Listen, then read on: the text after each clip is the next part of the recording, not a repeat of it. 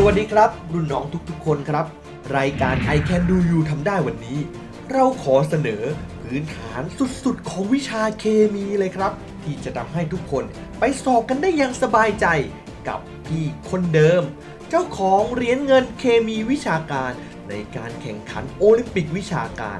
ที่จะมาอธิบายทุกเรื่องของธาตุและตารางธาตุกันอย่างครบถ้วน แถมด้วยการทดลองสนุกๆครับ พร้อมแล้วไปชมกันได้เลยครับ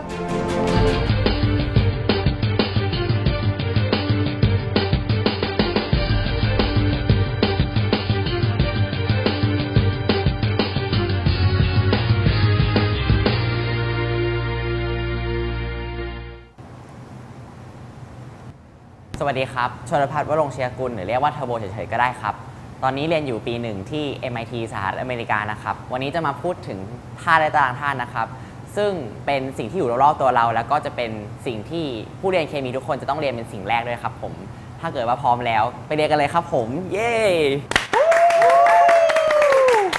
สวัสดีครับ ก่อนจะไปถึงตารางธาตุเรามาดูก่อนว่าตารางธาตุเนี่ยมันเกิดมาได้ยังไง ย้อนกลับไปนานมากเลย 300 BC เนี่ยคือแบบ 2,000 กว่าปีที่แล้ว ก็จะมีกลุ่มคนแรกๆเนี่ยที่เขา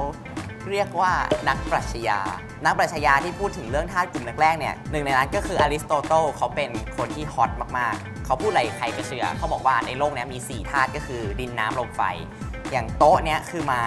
ไม้คือดินกับน้ำอันนี้ make sense เนาะเพ ราะว่าต้นไม้โตมาจากดิน แล้วก็เราลดน้ำลงไปให้มันโต แต่ว่าคนที่ตามหลังอริสโตเติลมาเนี่ยก็บอกหมดเลยว่าโลกนี้ไม่ได้มีแค่สี่ธาตุเลยก็ไม่ได้เป็นดินน้ำลมไฟ เราก็มาถึงคนนี้ลาโวเซียเป็นคนฝรั่งเศสเนาะชื่อแรกเขาชื่ออังตวนเขาเป็นบิดาของเคมียุคใหม่ modern chemistry เพราะว่าเขาเป็นคนค้นพบออกซิเจนในอากาศ คือเขาเอาประหลอดไปต้ม แล้วเขาพบว่ามันเกิดตะกอนสีแดงๆขึ้นความจริงมันคือสารประหลอดออกไซด์คือ HGO ตอนแรกเขาก็อะอะมันมันต้องมีอะไรในอากาศทำกับประหลอดแล้วแหละ ก็เลย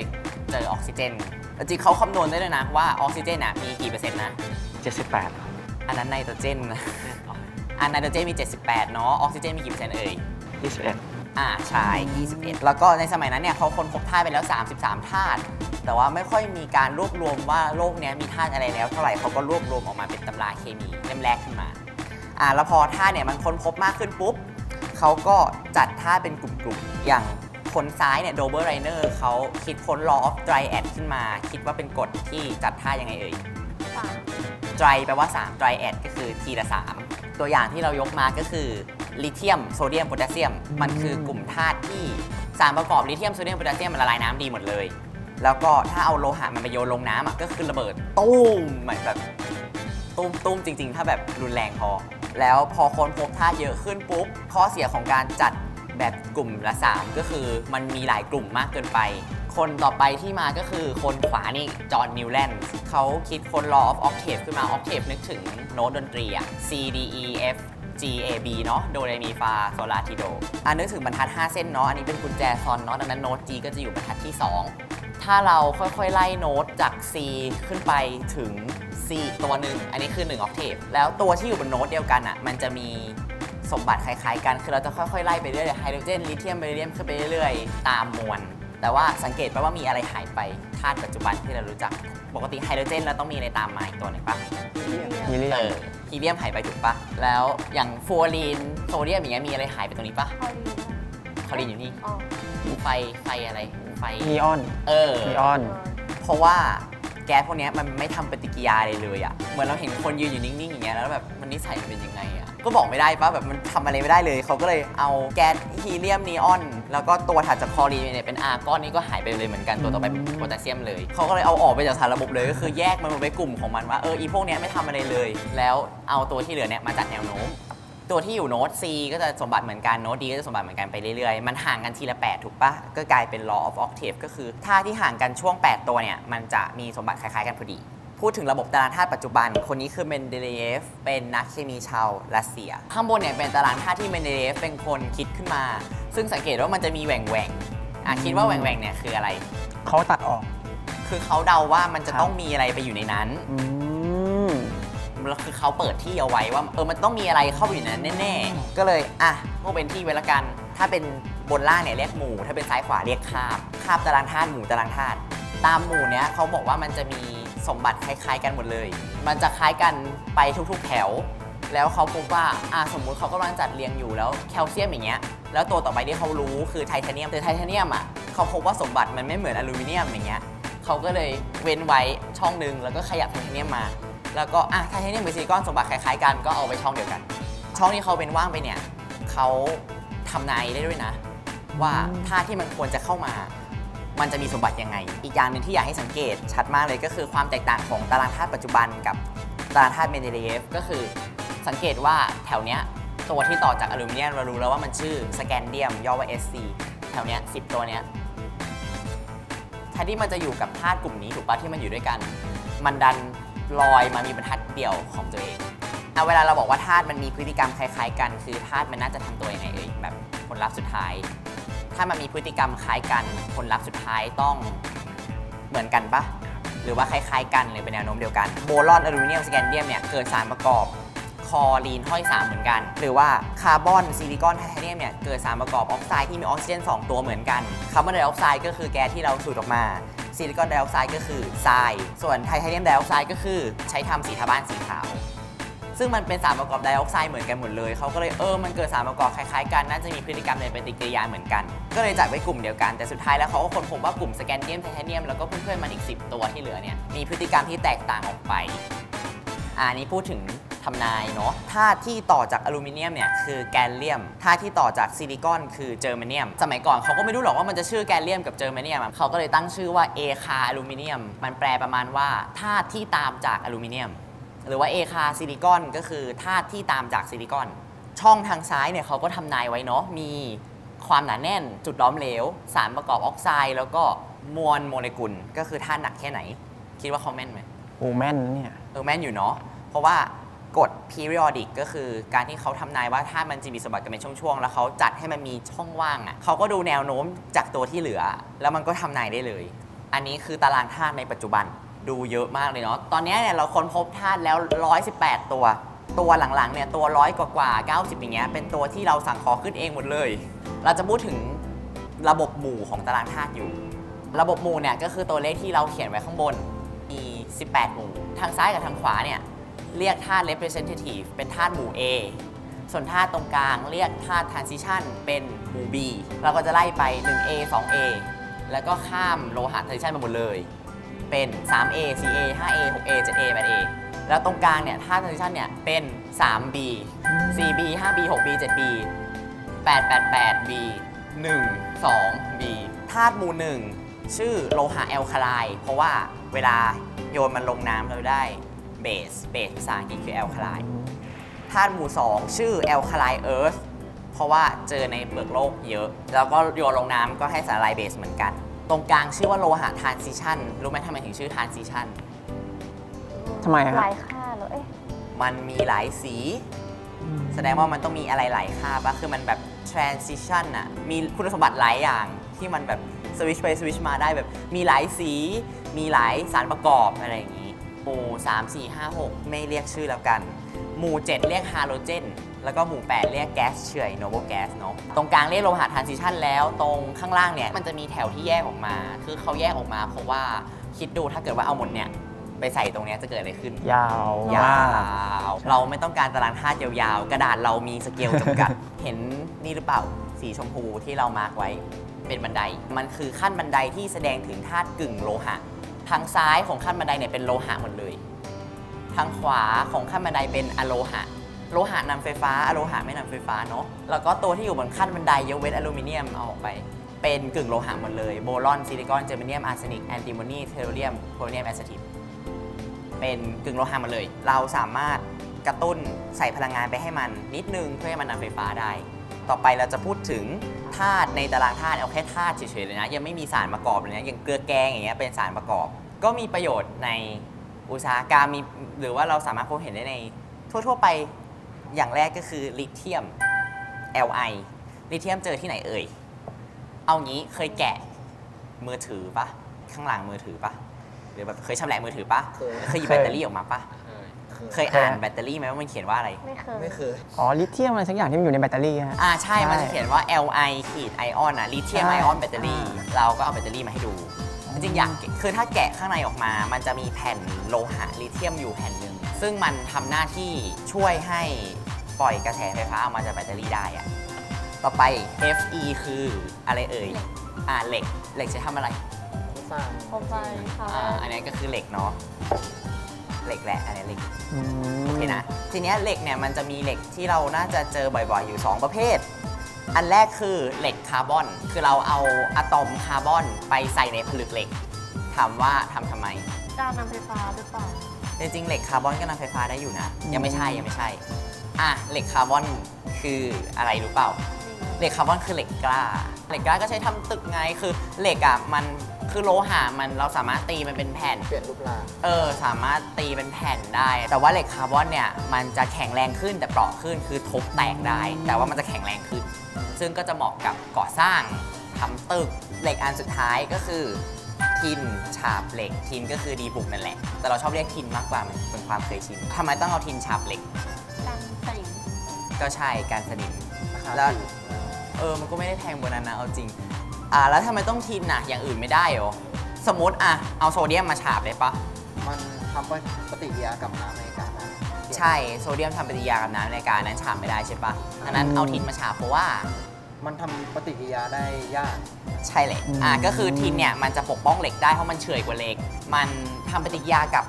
น้ำกับออกซิเจนในอากาศได้ช้ากว่าเหล็ก มันก็เลยป้องกันการเกิดสนิมได้ ทินฉาบเหล็กเนี่ยอันนี้เรียกว่าเหล็กวิลาดเป็นสาเหตุที่ทำไมห้ามซื้อกระป๋องทูน่าที่มันบุบแล้วใครไปทำมันบุบแล้วเนี่ย มันบุบลงไปนิดนึงเนี่ยคือถ้ามันบุบเนี่ยเกิดอะไรขึ้นข้างในรู้เปล่า รอยแตกระหว่างถาดเออดีบุกมันจะแตกถูกปะทำให้เหล็กมันโดน ทูน่าข้างในห้ามกิน ต่อไปเป็นแพลตินัมแพลเลเดียมทองเงินอ่ากลุ่มพวกนี้เป็นกลุ่มของแพงอะอะพูดง่าย ๆ ถ้าสังเกตธาตุสี่ตัวนี้ในตารางธาตุอะปล่อยสไลด์หนึ่งนะ มันจะอยู่ฝั่งขวาขวาๆของโลหะทรานซิชันหมดเลยคือมันจะมากระจุกอยู่ตรงเนี้ยแพลตินัมเงินทองแพลเดียมอยู่เนี่ยสี่ตัว คือธาตุที่มันอยู่แถวๆเนี้ยเป็นธาตุที่ค่อนข้างเฉื่อย ต่อการทำปฏิกิริยากับออกซิเจน และก็ไอ้น้ำในอากาศ ด้วยความที่มันเป็นโลหะเราสามารถขึ้นรูปมันง่ายถูกปะเราสามารถ ดัดหมุนบิดเอาไปทำเป็นเส้น เออทำเป็นเส้นก็ทองเป็นทองเนาะอะไรอย่างนี้ มันก็เลยกลายเป็นของมีค่าอันนี้เราก็เอาทองมาให้ดูด้วย บางคนอาจจะไม่คิดว่าทองเนี่ยเป็นธาตุแล้วบางคนก็อาจจะมองว่าเออเป็นของแพงแล้วก็เป็นก้อนๆหรือว่าเป็นเส้นๆอย่างเงี้ยอันนี้ทองคำเปลวมันไม่ได้ขนาดนั้น เอาทองคำไปคนละแผ่น เหมือนเหมือนรวยเนาะอ่ามันทองรวยโอ้ เหมือนกับที่ได้ตอนไปไปไหว้พระปะอ่าใช่ อ่าต่อไปคือดีบุกตะกั่วบิสมัตอัตราส่วนหนึ่งต่อหนึ่งต่อสองด้วย จริง ๆ อัตราส่วนมันก็เปลี่ยนตามขึ้นกับว่าเราต้องการแบบไหน อันเนี้ยรู้จักปะไม่รู้จักไม่รู้จัก ถ้าเคยเล่นกระป๋องน้ำอัดลมอะแล้วเราไปบิดบิดบิดบิดบิดบิดบิดมาแล้วอีเนี้ยก็จะหลุดพรึ่งออกมาเลย เออคือเราสามารถทำให้โลหะมันแบบ ขาด เออดึงออกมาได้เลย คือมันไม่ได้แบบ ขนาดนั้น แต่ถ้าเกิดว่าอะอันเนี้ยเป็นสิ่งเดียวกันเคยเห็นเปล่า ฟิวส์ฟิวส์เออฟิวส์ฟิวส์ก็คือตัวที่ควบคุมไม่ให้วงจรมัน short circuit เนาะไม่ให้มันลัดวงจร อะต่อไป Pr กับ Nd อันนี้เริ่มเป็นธาตุที่เราไม่คุ้นเคยเนาะเพรซีโอดิเมียมกับนีโอดิเมียม มันเอาไว้ใช้ทำแม่เหล็กอ๋ออ่า copper กับ tin อันนี้คือสำริดยุคสำริดเนาะในสมัยก่อนแค่นั้นเลย แล้วก็ออกซิเจนกับไนโตรเจน อันนี้ก็คืออยู่ในไหนเอ่ย อากาศเออแค่นั้นเลย เห็นสีแดง ๆ บนไม้ขีดปะเห็นอันเนี้ยคือธาตุฟอสฟอรัส ฟอสฟอรัสมีหลายอันในรูปนะ มีฟอสฟอรัสแดงกับฟอสฟอรัสดำพอเราเผาปุ๊บกลายเป็นสีดำ มันไม่ได้ไหม้นะ มันแค่เปลี่ยนเป็นฟอสฟอรัสดำเฉยๆ ทุกๆ อย่างเนี่ยที่เราเห็นเนี่ยเกิดจากอะตอมหมดเลย สิ่งที่เราต้องรู้มีอยู่ 3 อย่างก็คือสัญลักษณ์นิวเคลียร์ อนุภาคมูลฐานคืออะไร แล้วก็ลักษณะของอะตอมคร่าวๆ สัญลักษณ์นิวเคลียร์ ไอ้ข้างล่างเนี่ยคือเลขอะตอม ตัวเลขที่ห้อยอยู่ข้างล่าง เลขอะตอมเนี่ยจะบอกถึงว่าเหมือนเป็นรหัสประจำธาตุอะเลขอะตอมเปลี่ยนธาตุก็เปลี่ยน ข้างบนเนี่ยเป็นเลขมวล ธาตุตัวหนึ่งมีหลายเลขมวลได้ มันจะบอกประมาณว่าความหนักธาตุนี้หนักเท่าไหร่ แล้วก็มีประจุก็คือธาตุนั้นเสียประจุลบไปเยอะแค่ไหน รับประจุลบมาเยอะแค่ไหน ถ้าธาตุเสียประจุลบก็เป็นบวก ถ้าธาตุรับประจุลบก็เป็นลบ ตัวย่อของธาตุเนาะ Na คือโซเดียมเดียวเออต่อไปก็คือโครงสร้างอะตอม โครงสร้างอะตอมเนี่ยจะมีคอตรงกลางคือ เรียกว่านิวเคลียส อารมณ์เหมือนเซลล์ในร่างกายเรา นิวเคลียสเนี่ยจะประกอบด้วยอนุภาคมูลฐาน 2 ประเภทก็คือโปรตอนกับนิวตรอน โปรตอนเนี่ยเป็นประจุบวก ส่วนนิวตรอนเนี่ยเป็นกลาง มันจะอยู่ตรงกลาง แล้วก็มีประจุลบโคจรล้อมรอบอยู่เรียกอิเล็กตรอน อิเล็กตรอนเนี่ยมันจะวิ่งเป็นชั้นๆ ชั้นข้างในสุดเนี่ยชั้นแรกก็เรียกชั้น n เท่ากับ 1 ถ้ามันมี 2 ชั้น ชั้นนอกเรียกชั้น n เท่ากับ 2 ถ้าสังเกตเนี่ยอิเล็กตรอนด้วยความที่มันเป็นวงโคจรอยู่ข้างนอกถูกปะธาตุเนี่ยสามารถรับหรือเสียอิเล็กตรอนได้ทำให้มันเกิดประจุขึ้น อย่างโซเดียมเสียอิเล็กตรอนหนึ่งตัวเป็นโซเดียมบวกอะไรพอพูดถึงการรับจ่ายอิเล็กตรอนปุ๊บเราจะพูดถึงอีกอย่างหนึ่งก็คือเลขออกซิเดชันเลขออกซิเดชันคือปริมาณอิเล็กตรอนที่ธาตุต้องรับหรือเสียเพื่อสร้างพันธะ มันก็จะมีกฎ เพื่อใส่เลขออกซิเดชันง่ายๆ อยู่ นิดนึง อันนี้เราจะอิงแค่เฉพาะธาตุ representative คือธาตุหมู่ A เท่านั้นนะ ก็จะได้ไปตั้งแต่หมู่ 1A ถึง 8A หรือถ้าใครชอบระบบใหม่ก็จะเป็น 1 2 13 ถึง 18 เพราะว่าเราต้องข้ามช่องโลหะทรานซิชันตรงกลางออกไปเลขออกซิเดชันเนี่ยของหมู่ 1 ถึงหมู่ 3 เนี่ยก็คือบวก1บวก2บวก3ตรงๆเลย ช่วงที่เริ่มเป็นอะโลหะเนี่ยอะโลหะจะเริ่มมีเลขออกซิเดชันได้หลายค่า ก็คือตั้งแต่หมู่ 4 ก็คือคาร์บอน ไปเรื่อยๆจนถึงหมู่ 8 ก็คือแก๊สเฉื่อย มันจะมีเลขออกซิเดชันได้ตามนี้ก็คือบวก4ถึงลบ4บวก5ลบ3 6ถึงลบ2 7ถึงลบ1แล้วก็บวก8ถึง0เดี๋ยวเราจะคำนวณเลขออกซิเดชันให้ดูคร่าวๆเนาะอย่างโซเดียมคลอไรด์อย่างเงี้ยอะโซเดียมอยู่หมู่ 1 เพราะมันอยู่ซ้ายสุดก็เป็นบวก 1 ดังนั้นคลอไรด์ต้องเป็นลบ1เพราะว่าผลรวมเลขออกซิเดชันทั้งหมดต้องเท่ากับประจุรวม ของสารประกอบอืมอันนี้เรียกสารประกอบเนาะก็คือเอาธาตุหลายๆอันมารวมกันอะอย่าง HS ลบอย่างเงี้ยอันนี้เป็นไอออนก็คือมันมีประจุสารประกอบที่มีประจุจะเรียกว่าไอออนหรือว่าธาตุที่มีประจุก็ได้เรียกไอออนเหมือนกัน อย่างไฮโดรเจนอย่างเงี้ยอยู่หมู่หนึ่งถูกปะก็คือบวกหนึ่งเลย แล้วซัลเฟอร์เป็นลบสองผลรวมเรียกออกซิเดชันคือลบหนึ่งถูกปะหรือว่ามีเทนอย่างเงี้ย CH4 ก็คือไฮโดรเจนบวกหนึ่งคาร์บอนเป็นลบสี่เพราะว่ารวมๆต้องเป็นศูนย์ หรือแมกนีเซียมออกไซด์ไงแมกนีเซียมบวก2ถูกป่ะเพราะว่าหมู่2มันบวก2ออกซิเจนก็เป็นลบ2ทันทีซัลเฟอร์ห้อย8อันนี้คิดว่าเป็นเท่าไหร่เอ่ยศูนย์ศูนย์เพราะว่าศูนย์เพราะว่ามันเป็นอะตอมอิสระใช่ไหมเออเป็นธาตุเรียกธาตุมีเรียกออกซิเดชันเป็นศูนย์เสมอ ใช่ แล้วก็ CO2 เนี่ยออกซิเจนลบ2คาร์บอนบวก4นะ สังเกตเห็นปะไฮไลท์ไฮไลท์คาร์บอนลบ4อยู่นี่คาร์บอนบวก4อยู่นี่คาร์บอนอยู่หมู่4แปลว่ามันมีค่าแต่บวก4ถึงลบ4 แล้วก็จริงๆ มันมีสารประกอบที่มีค่าระหว่างนั้นนะ พวกแบบเมทานอล ฟอร์มาลีน พวกนี้เป็นสารประกอบที่คาร์บอนไม่ได้ออกซิเดชันอยู่ระหว่างลบ4กับบวก4เอ่อต่อไปคือฟอสเฟตเนาะ ออกซิเจนลบ2ฟอสฟอรัสบวก5บวก5ลบ2คูณ4เป็นลบ8 5ลบ8เป็นลบ3มันประจุ3ลบพอดี ต่อไป KO2 อะโพแทสเซียมบวก 1 อันนี้ วางไว้เลยถูกปะแล้วออกซิเจนเป็นเท่าไหร่อะทีนี้ลบหนึ่งส่วนสองลบ1ส่วน2ถูกต้องเลขออกซิเดชันเป็นเศษส่วนได้ แต่ว่าไม่ค่อยเจอ ที่จะเจอเศษส่วนเนี่ยจะเจอแค่กับออกซิเจน อย่างออกซิเจนที่มีเลขออกซิเดชันลบ1ส่วน2เนี่ยอันนี้จะเรียกว่าซูเปอร์ออกไซด์ส่วนเลขออกซิเดชันของออกซิเจนถ้าเป็นลบ1เนี่ยจะเรียกออกเปอร์ออกไซด์ส่วนถ้าเป็นลบ2จะเรียกออกไซด์เฉยๆ ผมเรียนจะใช้การจำเอาครับจำว่าเนี่ยมันเป็นอย่างนี้อย่างนี้ คือส่วนใหญ่ผมจะแตะแค่ทฤษฎีครับของเคมีไม่ค่อยได้ลงมือปฏิบัติแลบเลย เย้โอเค สมบัติของโลหะทรานซิชันตัวที่เราจะเอามาเล่นให้ดูก็คือด่างทับทิมในปริมาณน้อยน้อยมากๆ เพราะว่าด่างทับทิมเนี่ยเวลาละลายน้ำแล้วมันสีเข้มจัดเลยอะเราก็เลยใช้ไม่เยอะอะเราจะเทมันลงไปแล้วนะอาจจะน่าจะเติมน้ำประมาณ 200 มิล จากนั้นเนี่ยเราจะชั่งสาร 2 อย่าง สาร 2 ตัวเนี้ยจะเป็นตัวที่ทำให้เกิดปฏิกิริยา แต่ถ้าที่มีสีอะไรเอ่ย ม่วงถูกปะ มันเป็นสีม่วงเพราะว่ามันมีแมงกานีสที่มีเลขออกซิเดชันบวก7บวก7นี่สูงถูกปะอืมเราจะลดมันลง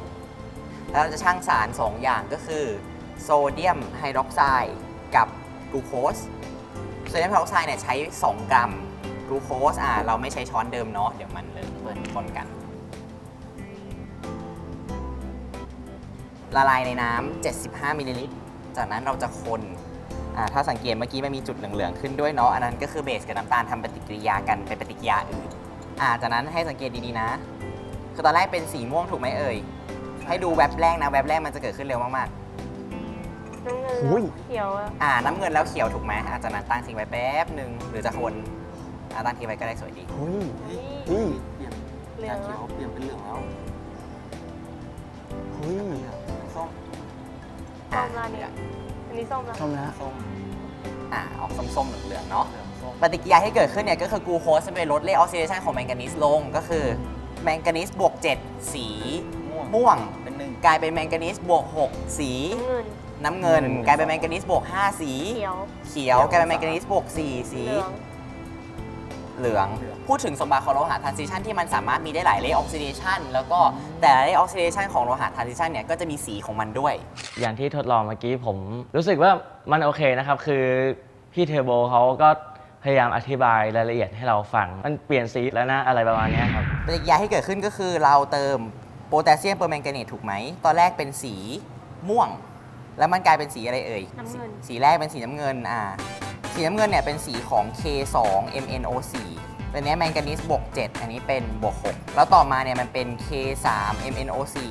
แมงกานีสบวก5สีอะไรเอ่ยนะ เขียว สีเขียว แล้วจากนั้นอะมันกลายเป็นแมงกานีสไดออกไซด์ซึ่งเป็นแมงกานีสบวก 4 ก็คือสีเหลืองเหลืองๆส้มๆอ่าทีนี้อีกสมบัติหนึ่งของสารประกอบ ที่มาจากโลหะทรานซิชันที่อยากจะให้รู้ก็คือ การเกิดสารประกอบเชิงซ้อน มันเป็นการที่ไอออนบางอย่างมันสามารถไปจับกับไอออนโลหะทรานซิชันของเราได้ เพื่อให้เกิดสารประกอบที่มีคุณสมบัติเปลี่ยนไป เช่น สมมุติต้องการจะละลายทอง อันนี้เราขอไม่ดูสมการนะ ก็คือเราจะเติมไซยาไนด์ออกซิเจน น้ำออกมาจะได้สารประกอบเชิงซ้อนตัวนี้ คือสมมุติเรามีทองอยู่ สมมุติว่าเราไปเหมืองแร่อย่างเงี้ย แล้วเราไปขุดออกมา มันจะได้หินที่มีแร่ทองอยู่ข้างใน ทีเนี้ยถ้าเราได้ทองออกมาจากตัวหินอะเราจะเอามันไปละลายในสารละลายไซยาไนด์แล้วก็ให้มันโดนอากาศ ตัวทองอะมันจะละลายลงไปกับไซยาไนด์เพราะว่าไซยาไนด์มันจะไปจับกับทองทำให้ทองละลายน้ำออกมา จากนั้นวิธีดึงทองออกมาจากสารละลาย ก็คือเอาไปทำปฏิกิริยากับซิงค์ก็จะได้ซิงค์ไอออนตกไปในสารละลาย แล้วก็ได้ทองไอออนเนี่ยกลายเป็นทอง เป็นของแข็งตกออกมา แล้วก็สุดท้ายก่อนที่เราจะจบเรื่องธาตุและตารางธาตุก็คือพูดถึงอนาคตของตารางธาตุของเรา เมนเดเลเยฟเขามั่นใจในอนาคตว่าตารางธาตุมันจะมีอะไรเข้ามาถูกปะเราก็ต้องมั่นใจว่ามันจะต้องมีอะไรต่อจากธาตุ118 พูดถึงธาตุ119ถึง120 เนาะอะ118 ตรงนี้ถูกไหมอะ119 120 ก็คือชืบตรงนี้อะอืมธาตุ121 เนี่ยมันจะมาต่อตรงนี้ถูกปะซึ่งมันควรจะยาวไปเลยถูกไหมธาตุกลุ่มเนี้ย มันจะเป็นกลุ่มที่เขาจะตั้งชื่อ จะตั้งชื่อว่า superactinide ก็คือ actinide คือกลุ่มแถวล่างเนี้ยซูเปอร์คือลงลงมาอีกแถวหนึ่งแล้วมันจะมีทั้งหมด 18 ตัว ก็คือจะมีแถวเนี้ยอันนี้มี 14 ตัวตัวมันจะมีแถว 18 ตัวยาวมาตรงนี้อีกอะโอ้โหถ้าเขาไปถึง 138อะนะ แต่ตอนเนี้ยยังหยุดที่ 118 อยู่นะตารางธาตุของเราก็ยังสบายดีแต่ ถ้ามันค้นพบไปเรื่อยๆก็อืมธาตุสี่ตัวที่ค้นพบล่าสุดเนี่ย ก็คืออยู่กลุ่มนี้แหละ 113ถึง118 เพิ่งจะได้ไม่นานนี้เลย แต่ก็หลายปีอยู่นะ แต่ก็ไม่นานเนี่ยมี 4 ตัวก็คือนิโฮเนียม มอสโคเวียม เทนเนสซีน แล้วก็โอกาเนสซอนวิธีการสังเคราะห์ก็คือสังเคราะห์ผ่านปฏิกิริยานิวเคลียร์หมดเลย ก็คือจะใช้ธาตุแปลกๆ ที่เราเคยสังเคราะห์อยู่แล้วอย่าง CF เนี่ยคือแคลิฟอร์เนียมคือชื่อมันไม่ธรรมชาติเลยถูกไหม อ่าบวกกับแคลเซียม 48 อันนี้เป็นแคลเซียมที่แพงมากเลยนะ เพราะปกติแคลเซียมมัน 40อ่าเอามาชนกันได้โอกาเนสซอนกับ 3 นิวตรอน อันนี้เป็นปฏิกิริยานิวเคลียร์ เอาของเล็กมารวมกันเป็นของใหญ่นี้เรียกฟิวชั่น แต่ถ้าเอาของใหญ่สลายเป็นของเล็กจะเรียกฟิชชั่น ตอนนี้เขาพยายามสังเคราะห์ธาตุ119 120 อยู่ แต่ว่าได้แต่รอ เพราะว่าทุกวันนี้เขายังดีเทคไม่ได้ อาจจะสังเคราะห์ได้แต่ยังดีเทคไม่ได้อะไรอย่างนี้ เพราะว่ายิ่งธาตุตัวใหญ่เนี่ยความเสถียรมันก็ยิ่งลดลง เพราะมันพร้อมจะสลายตัวทุกเนื้อวันนี้มีแค่นี้ครับผมเรียบร้อยแล้วพร้อมครับเย้แล้ว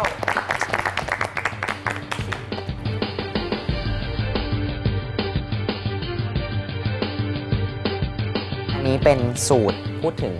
อัตราการเกิดปฏิกิริยาที่เปลี่ยนแปลงตามอุณหภูมิ ถ้าเกิดว่าเราเพิ่มหรือลดอุณหภูมิมันจะส่งผลต่อกฎอัตรา ค่า K นี่คือเป็นค่าที่อัตรา คือถ้าค่า K เยอะอัตราก็จะเกิดเร็ว ถ้าค่า K น้อยอัตราจะเกิดช้าครับผมอันนี้ก็เป็นความสัมพันธ์ที่เทียบ K กับอุณหภูมิ ส่วน EA นี่คือพลังงานก่อกำลังก็คือพลังงานที่ใช้ให้ปฏิกิริยามันวิ่งไปข้างหน้า